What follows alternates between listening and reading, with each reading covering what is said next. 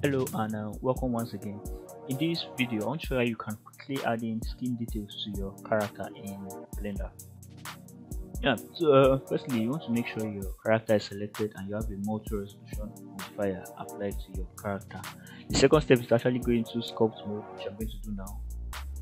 So uh, thirdly, I want to make sure the resolution is high enough in order to be able to sculpt the skin details. So I want currently I'm, I think I need at least 6 million polygons for this particular character. So I'm going to just increase the subdivision. I'll keep subdividing till I see the place count is up to 6 million right there. So I think 5 subdivision level is actually alright for me. Yeah so uh, in case you don't know how to bring out this uh, option here all, all you just need to do is click on this drop down in the overlay property and make sure statistics is checked so you can see the poly count on your character so uh, the next thing I want to do is to create a custom brush that I would use in sculpting in the skin detail. So to do that I would go into the I would go into the tool settings which is right here and I want to use the draw brush as my base for creating this brush. So I would create the draw brush and name this stamp.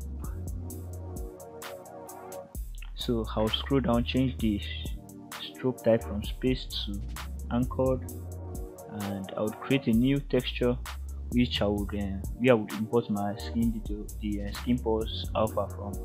I would change the mapping from tiled to area plane and go into the texture uh, properties and open the skin stamp that I have on my that I've downloaded actually. So yeah i think i would go with this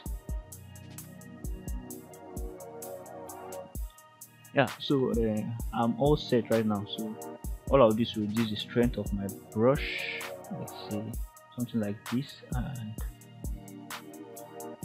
so just click and drag to add in this nice pores in the areas where they are needed something like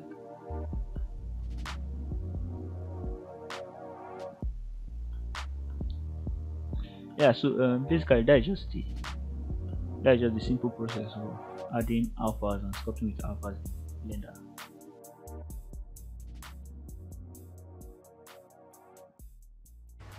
Yeah. Quick note so this method isn't only applicable to character sculpting it can also be applied to hard surface sculpting and other sculpting so long as you are working with alphas